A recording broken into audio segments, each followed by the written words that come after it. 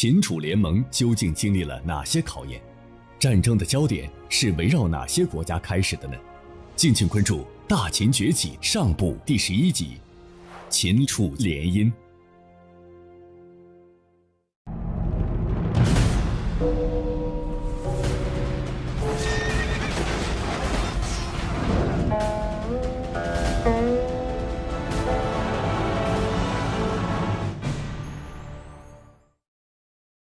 在晋文公时期，秦晋两国既是近邻，又有着婚姻关系，交往频繁。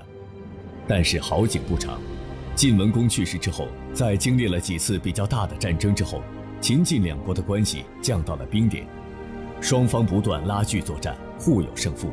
在晋厉公与秦桓公订立了有名无实的灵狐会盟之后，状况非但没有改善，反而发生了晋国发起的八国攻秦这一事件。终于。晋国派出使者向秦国递交了绝交书，由此，秦晋两国恢复和平的希望彻底破灭。那么，秦国今后的决策该如何调整呢？秦国的新盟友究竟给秦国带来了哪些帮助呢？华中师范大学刘星林教授做客百家讲坛，为您精彩讲述《大秦崛起》上部第十一集《秦楚联姻》。秦国的今后的战略。非得向楚国那边转变。由于这个地缘政治的原因，秦国和楚国没有根本利害的冲突，所以秦楚联盟是一个最佳选择。到秦康公的时候，这个联盟要继续，继续去探求怎么样连起来。秦康公时候，同时执政的楚国的国君楚庄王。我们知道楚庄王是那么个人，三年不鸣，一鸣惊人；三年不飞，一飞冲天。所以三年之内啊，他还在花天酒地了。为什么这样？因为楚国内部贵族的争斗非常激烈，非常复杂。这个楚庄王即位之后，得让你们斗一斗，咱就花天酒地的不理正事。在这个时间之内。秦国想去和他联合是很难。当然，楚庄王并不是说一定等到三年咱们才飞才叫一声，不是，就是起初让他们贵族的这个斗争火并干完了来收拾。所以楚庄王即位之后不到三年，楚国不是内乱吗？乱得那么厉害吗？这个时候，周边的那些个国家和民族一起。向楚国进攻，他们没有联合，各干各的。因为大家觉得楚国现在有事儿，这事儿不干，什么事儿干？其中最厉害的一支是庸国。庸国在哪里？在现在湖北省的竹山。这个国家资格很老。当殷商末年，周武王讨伐商纣王的时候，有诸侯联军支持。诸侯联军挨守的是哪个国家？庸国，所以庸国对周代的建立，为周武王这个伐纣是立下了汗马功劳。当他很强势的时候啊，楚国是什么呢？楚国因为他的祖先做过文王老师，给他封了一地方，在湖北的西部，纵横五十里，那么小的，相当于现在一个大的乡镇。这样的一个一个地盘，但是呢，春秋时期到了东周，楚国日渐强盛，但是庸国呢日渐没落，情况对比发生了一个彻底的变化，所以庸国已经很长时间对楚国称臣，楚国说怎么办就怎么办。现在问题是楚国内部斗成一锅粥。所以，庸国觉得有了机会攻打楚国，在进攻楚国的这个各个国家民族中间，庸国是最厉害的。只要把英国干掉了，其他的可以通过谈判来解决问题。楚庄王现在实施啊，发动对这个庸国的进攻，但是得有人帮助。楚庄王联合了两个政权，一个是八国，现在的重庆一带。另一个就是秦国，所以秦国八国的军队一来，这个抄了庸国的后路。再说庸国人那个时候觉得楚国人也不过如此，楚昭王呢则采取另外一种战略，就是骄兵战术，打一仗我败一次，再打一仗我败一次，因为有计划的失败呀，自己绝对不会受多大损失。楚国人、楚国军队和庸国是七战七败，败给你看，一直败到庸国人觉得自己天下无敌，楚国算什么呀？不足挂齿。到这样的情况下，三国联合起来，就是楚国、秦国、八国联合起来，把那个庸国给抹掉了。所占的地盘，你楚国占的归楚国，八国占的归八国，谁占归谁。所以从此没有了这个庸国。那么也就因为这一次帮助楚国灭庸，秦楚之间有了更深入的了解，他们对前景。对战略前景有了更加清醒的认识。灭庸对楚国的好处最大呀，因为楚国要向北方扩张，最怕的是有人抄后路，而且是有一个强大的力量来抄后路，所以一直呢战战兢兢，不敢放手啊向北方去对付晋国。这次好了，灭了庸国和秦国之间还有一个中间地带。哎，缓冲地带，就庸国原来地盘和秦国不存在冲突，因此他们之间应该实行联合了。他们的联合来迟了，来得很很迟，因为在秦穆公的时候，秦楚之间的联合，从后来的某些这个文献来看，那个联合啊已经是水到渠成。秦国人把那个文字刻在石头上面。有那么块石头上面啊，刻的文字里面是这样清晰的表达的。这文章里说：“昔我先君秦穆公，即楚成王，使努力同心，两邦若一，汉以婚姻，整以其盟，曰：爷万子孙，无相为不利。”说那个时候咱们结成友好的时候穿着华美的礼服来成婚，穿着庄重的礼服来订成盟约，而且互相约定，子孙万代，咱们互相只能够交相利，不能交相害，这样一种情形。鉴于文献记载的典型的秦楚联盟婚姻，其实只有三次。第一次呢，还没有指出秦穆公。和楚成王是谁的女儿嫁给谁，是谁娶老婆，这都没交代。哎，这是他第一次。实际的第二次是在秦景公时代，秦景公把自己的妹妹嫁出去了，她嫁给了楚庄王的儿子楚公王。那么第三次呢，那就很有名的一次了，就是导致。吴国灭楚国，占领楚国首都的那次婚姻，那是后来的。鉴于史书记载的这么三次之外，秦楚婚姻比他们战略上的联盟还要多，所以在秦国的朝廷里，形成了一个楚氏的集团。在楚国的朝廷里呢，还有一个秦国的集团。因为平常啊，哎，这些婚姻，它无关大局的。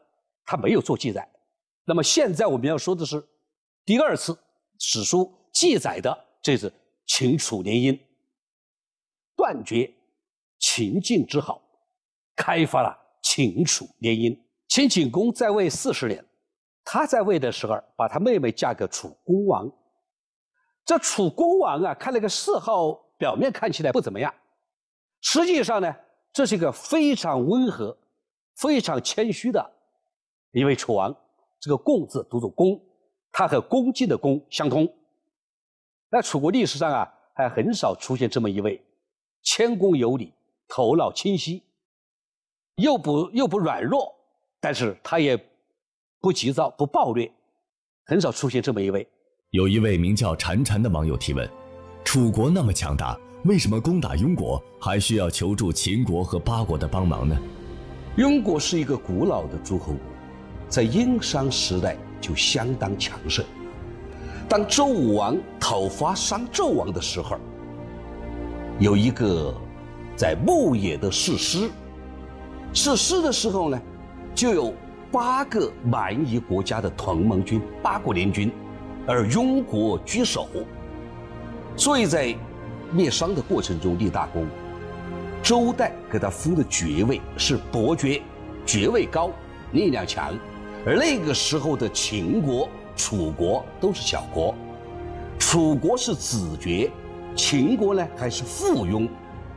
春秋时期，庸国，他在秦国、楚国八国之间多次的打败楚国，所以到公元前六百一十一年，楚国灭庸的时候，如果没有秦国八国的帮助，他几乎是不可能的。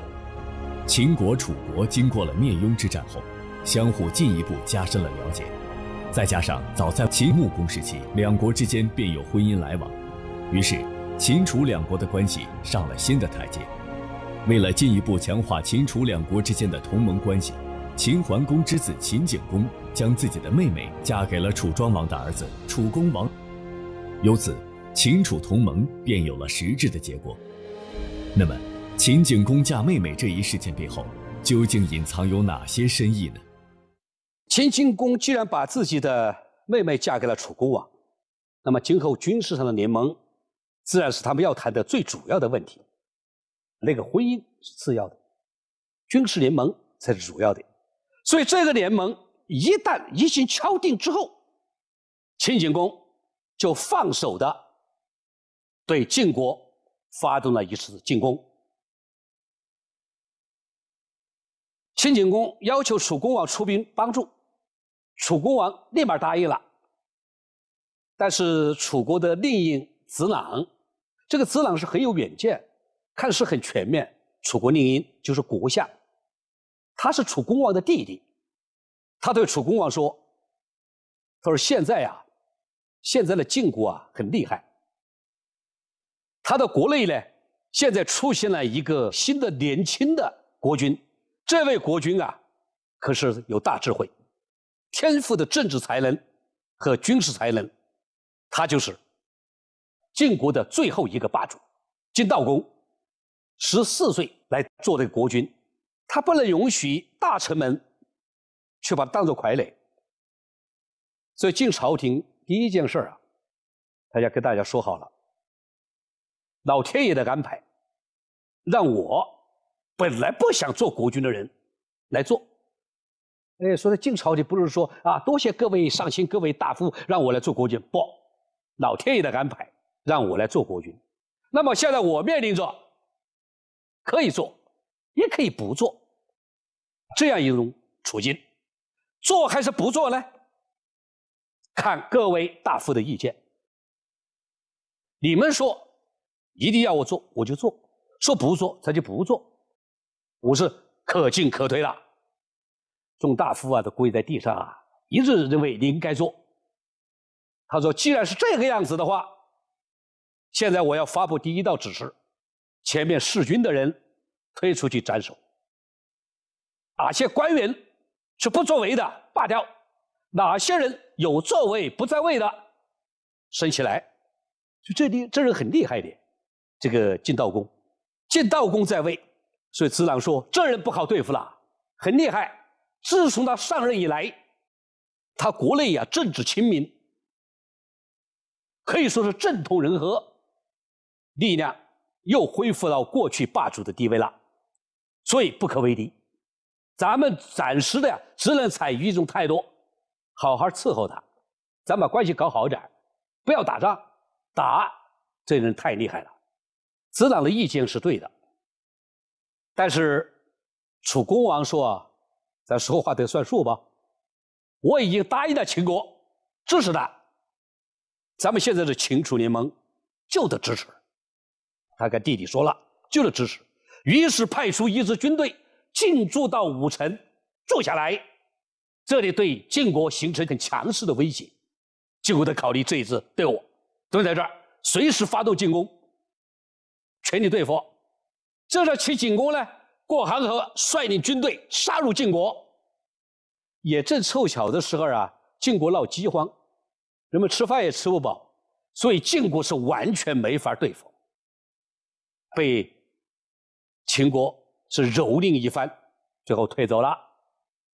楚国人虽然说军队驻扎在这儿，大军队是一种强大的威慑，就让秦国啊在这里打了一大胜仗，走了。那么晋国为了表示报复，因为春秋时代呀，每打一仗都得还一仗，没有说你打了我一次，我不还你一次。你打我一次，不管是你胜还是我胜，我都得报复一次。所以，直到第二年情况稍微好转，晋国才象征性的去进攻秦国一次，以示对前面的一次呃秦国侵犯晋国的报复。秦国和楚国的联盟初见成效，这后来。秦国和秦国和楚国啊，互相默契的配合，弄得晋国手忙脚乱。所以那个晋悼公，你不管怎么厉害，你面对了一秦国一楚国，在联合联手对付的时候，他也实在是没有更好的办法。战争的焦点往往都是集中在两个中不溜秋的国家，一个是宋国，一个就是郑国。郑国敢欺负的也没别的国家，就宋国，所以郑国攻打宋国，主动的去攻打宋国。这个宋国一被围呀，那还得了？晋国就不远了，晋国一动不动就邀集好几个国家来救宋国，救宋国就要打郑国。那郑国没办法怎么办？服呗，啊，投靠呗。郑国投靠了。晋国，这个郑国本来已早就是楚国的盟国啊。你投靠晋国，投靠之前我要来救，如果真的投靠了，我的兴师问罪，你的再回到我的阵营。对，晋国人带着联合国军队，为救宋国而打郑国，打了郑国，郑国服了。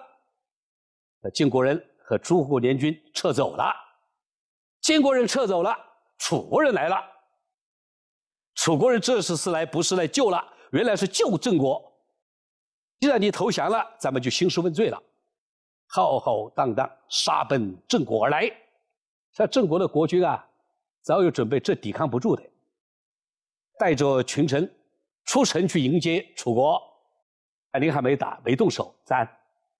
啊，本来就是投靠您的，我救你附属国，实在没办法，咱们不得不临时投降一下。这样的处理是合适的。楚国人一走，怎么样？晋国人又来了。这一次来对不起了，包围了，包围起来呢。啊，说楚国人这一下来不了，来了咱们有办法对付。郑国的国君没办法和谈。这次和谈不一不能一般的谈，你这做出的贡献，拿出的东西来，啊，郑国国家也不是特富有，也不是很大，是吧？能拿出来都拿出来，乐队啦，乐师啦，乐器呀，各种名贵的乐器啊，大的编钟啊，编磬啊，然后呢，就是乐队，还有表演队，美女，还有光说这些还不行啊。还得说什么呀？战车、大车，大车是平常坐的，战车是打仗用的，还有兵器等等，一概都得出。所以晋国这个打也没打，大胜而归，回去了。那么按照我们前面说的顺序，现在该谁来呀？该楚国，是吧？楚国又要来了。楚国还没来的时候啊，秦国也得动动。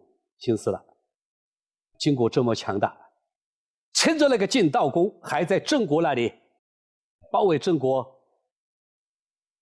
索取贿赂、索取战利品的时候，秦国军队杀向了晋国。晋国有个士房，在那里防御，看见秦国呢，就来了两个大庶长，两位大庶长，一个叫庶长包，一个叫庶长武。庶长包先攻进了晋国，释放觉得人数不多，基本上就没设防，哪知道一攻就攻进去了。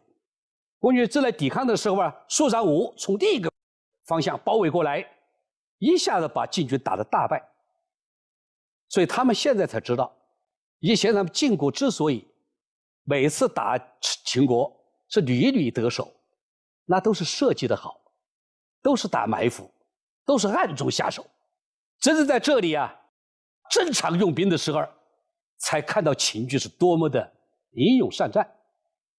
这是晋国被秦国公开进军，打败了他的军队，到秦楚之间再次合作。秦国派了一另一个大庶长，叫做吴地；楚国呢，就派了他的令尹子朗，再次合作，大败晋军。所以在这一段时间，要不是有这个晋楚联盟的话，对吧？就凭着晋悼公那么一个天才的政治家、军事家，那么秦楚两国都可能吃大亏。之所以没有吃到大亏，这还是因为啊有秦楚联盟。诸侯林立，群雄竞争，这是一场崛起道路上的赛跑，高潮低谷，艰难曲折，这是持续近七百年的接力。从西周附庸到西方诸侯，从西方诸侯到大秦王朝，秦国为什么最终脱颖而出？秦国崛起的漫长历程能给我们带来什么样的启示？华中师范大学刘兴林教授为您精彩讲述系列节目《大秦崛起》。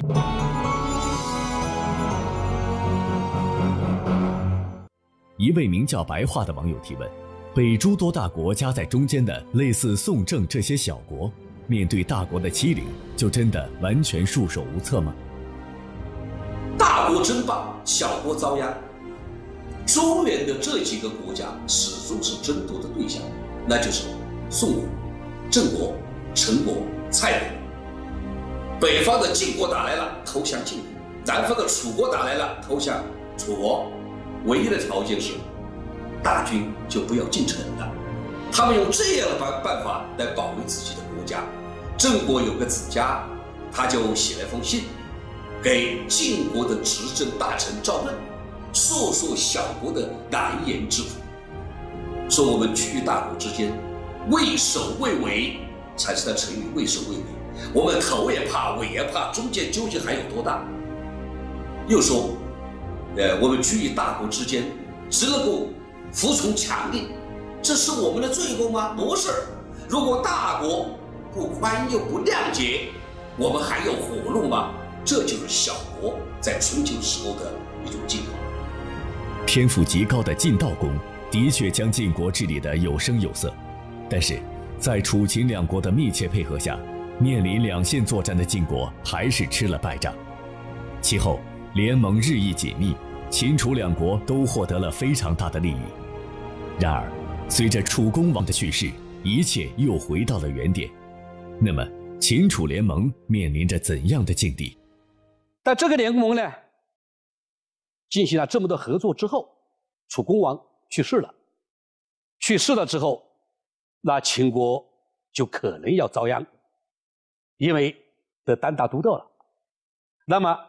秦楚联盟暂时告一段落，因为下边的国君还不了解国家大事儿，怎么就继续这个秦楚联盟呢？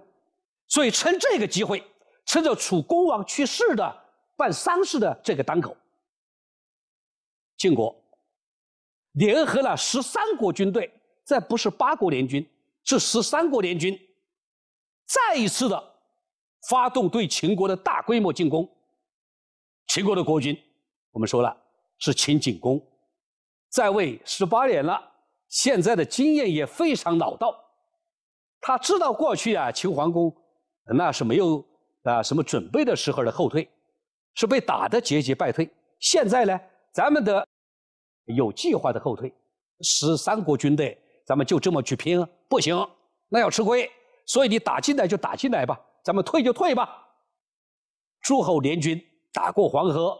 再次的打过渭河，在打过泾河的时候啊，大家就都不肯向前了，因为这个是被迫来的，是霸主的命令。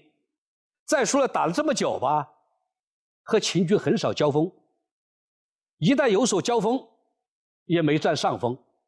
秦国人家是有计划的撤退，啊，他在拖我们，他要拖死你，联合联合军队，一拖再拖，拖到上游的时候，秦国人啊放下话来，你们联军可都得注意了，在泾河里的水不能喝，这是秦国的，你们喝了要死人的。为什么呀？秦国人在上游放毒。你你想想，这个秦国的啊，这个泾河一放毒，联合联合军队怎么办？不相信，以为秦国人吓唬我们了，照样喝，照样喝，喝了就死。所以这毒死不少人，不是没告诉你啊。所以这个联合联合国的军队啊，这事儿才感觉到进不能进，住不能住。你进，人家又退。拖死我们！你要住下来呢，这水也不能吃，怎么办呢？这各个国家的军队都在考虑自己的事儿。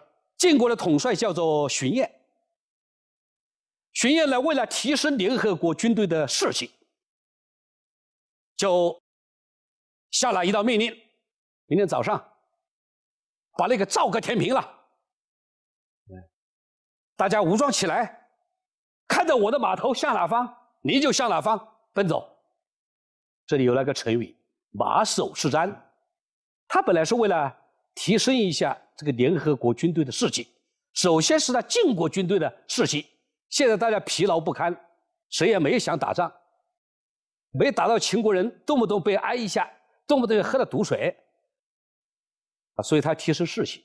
但是晋国有一个将军叫栾燕，可不服气了，所以咱们在晋国。一代一代人为晋国服务，咱在晋国从来没听过什么这样的命令，什么“唯于马首是瞻”，我的马首向东方去了。他说：“你不是向西吗？还要进攻吗？我的马它怎么要向东呢？”嗯，于是带着自己的部下撤。他这一撤，其他各国都想撤，所以巡演一看不对呀，撤呗，都撤。各国军队只等这一个命令了。所以忽然一下各跑各的，这次战争呢，是打得非常窝囊。那栾爷他是跑了，他弟弟啊不服气。咱们这战争叫什么呢？叫报越之役啊！前面是人家打我们，在越役打败了我们，我们是来报复的，就人家两个大庶长来把我们打败了，咱们来报复的。我们报复的什么呀？什么也没报复，所以不服气。于是，这个栾爷的弟弟啊，叫栾真，他就约了一个人，叫做士鞅，咱们俩杀回去。两人呢志同道合，一起杀入秦军。大家知道秦军现在是来围剿你的，是来追赶的、追杀的，所以一杀进去呢，这位栾燕的弟弟啊，栾真就战死了，被秦人给杀了。史鞅是逃回去了。那栾威弟弟没回去啊，栾燕就找到士鞅的他爹，叫士盖，老将军，我跟你说了，这次杀回去，我弟弟是不愿意，是你儿子鼓动的，但是我弟弟没回来，你儿子回来了，所以您把你儿子给赶走，不能待在晋国，待在晋国，我要杀了他，为我弟弟报仇，是他邀我弟弟去的。其实这事儿啊，那还真是那个南征，哎，邀的士鞅。士鞅现在有口莫辩了，说当时谁叫谁杀回去的呀？说了谁信啊？谁作证啊？没人作证，所以士鞅没办法，逃跑了。往哪儿跑呢？投降秦国去了。这个晋国人啊，内部一闹矛盾啊，怎么一搞就，像世会一样，投到秦国。这秦国人啊，还真是憨厚。晋国投来的就是住下，啊，相待以礼，然后晋国人要把你弄回去了，那回去吧。这个士鞅投靠了秦国之后啊，秦景公就把他请来问问，你们晋国那些大夫们，谁最先拜，谁后拜，是为什么？这个士鞅啊就一一道来，阮氏先拜，为什么败呢？哎，因为他们胡作非为，他们专横跋扈。但是呢，败的不在这一代，还在下一代。为什么？因为他们祖上啊立有功，一一分析，一一道来。哎，秦景公说：“你来投靠我，你的你对晋国秦国太了解，你讲的道理呀，都是秉公而论了。你是个人才呀。”于是秦景公派人送信到晋国去，说：“你那个士鞅投靠我，对你晋国来说，他真是个人才，非常不错的。我就跟他说个情吧，让他回去官复原职。嘿，你看敌国的国君啊，秦景公，因为秦景公资历老啊，哎，你打仗也没打过他，人家说你的士鞅是个人才，说晋国的大夫们也都认为是这样啊。”所以晋国也就接受了，啊，士鞅又回去了。由此看来呀，这个秦国的历代国君，在这个问题上从来不承认之威。呃，前面的世会不这样吗？呃，投靠我住了几年，还帮帮我的忙，打了晋国一次，那晋国人还派个魏寿瑜来策反，把他弄回去。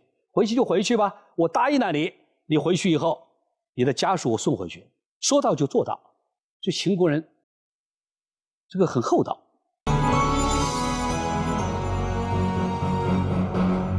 一位名叫石虎的网友提问：秦军在泾河给联军下毒，是否确有其事？在当时就已经有了通过生化武器来进行战争的方式了吗？秦国那确实是在泾河上游下毒了。这个时候的晋国啊，出现。最后一位著名的霸主，就是晋悼公，年轻的霸主。连齐霸主特别厉害啊，是中国的亚历山大，但是他不见得不打败仗，他也就吃了秦国的一败仗，叫做越之战。为了报复越之战，找回面子，晋国以霸主的身份纠集了十四个诸侯国，向秦国进攻，打过黄河，打过渭河。然后呢，啊，就沿泾河追秦军。这个秦国的秦景公在位四十年，秦景公可比他父亲厉害了。我不跟你打，我就退。所以呢，一直退，两军没有怎么交战。一退再退，不可再退的时候，秦军在泾河上游投毒了，并且宣言：请你们别喝泾河的水，那可是有毒的。试试，哎，你喝，死的人还不少。所以呢，这个诸侯联军军心涣散，只好退兵。你退吧，秦国一个国家军队倒在后边追起来了。所以晋国人呢嘲笑自己，这一次战争叫做千夜之役，千夜很久的时间。结果是什么呀？是秦国没有败，晋国没有胜。诸侯各国连年征战，各国国力损耗严重，尤其是百姓更是苦不堪言，食不存衣。各国普遍流传着停战养息的情绪，那么数量繁多、关系复杂的诸侯各国能否停止争端，一起签署停战协议呢？请继续收看《大秦崛起》上部第十一集《秦楚联姻》。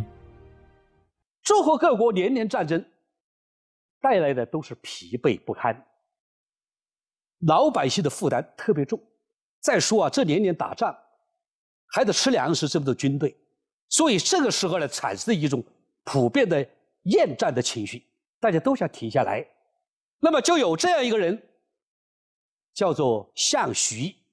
这项徐是宋国大夫，他恰好呢和晋国的赵武，也就是赵盾的孙子，现在是上卿，和赵武，赵是孤儿，赵武和他关系很好。同时，他又和楚国的令尹子木关系很好，因此呢，他两边游说，最终就达成了一个密兵的协议。也就是说，春秋时期各个诸侯国从此休战，不打了。既然晋楚两国同意，那么再要征求意见的，就是秦齐两国。秦国、齐国本来说这个争霸的事情和我们关系不大。但是既然想不打仗，大家都不打，那就不打呗。所以他们也同意了。于是这个晋楚弭兵大会所有诸侯国按照规矩都得参加，在这里，首先是大夫们谈判，讨价还价，最终呢达成了一个协议是，让楚国的盟国定期朝拜晋国，让晋国的所有盟国要定期的朝拜楚国。那不是说仅仅朝拜一下一个礼节问题啊，定期朝拜的时候要进贡的。原来向霸主要进贡的，原来大家只向一个霸主进贡。楚国的盟国向楚国进贡，晋国的盟国向晋国进贡。现在休战了，好了，所有的盟国既要向楚国进贡，又要向晋国的进贡，所以他们的负担从此以后乘以二。两倍了，但是有一条，有一条，就是秦国和齐国，他们和晋楚两国是在伯仲之间。秦国的所有盟国不会去朝拜，包括他本人不会去朝拜晋楚，他们是平起平坐的。这样一次弭兵大会结束之后，整个春秋时期得到了这么一段时间。有的时候十几年，有的时候达到四五十年，其实大概也就是十几年的时间，没有发生什么大的战争。但问题是啊，这个弭兵大会，南方有两个国家没参加，一个是吴国，一个是越国，这两个国家没参加。既然这两个国家没有参加项徐弭兵大会、弭兵会盟，那就意味着。他们可以不遵守这个弭兵大会的任何条约，没参与，没签字，不承认，不接受。但是现在的吴国强大了，原因说白了就是当时有一大美女引起来的。这一大美女是谁？她为什么有这么大的能耐呢？请关注下集，谢谢。